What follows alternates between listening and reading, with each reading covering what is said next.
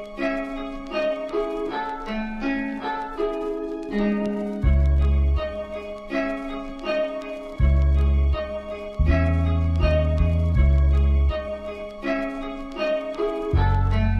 is Mixlot Production.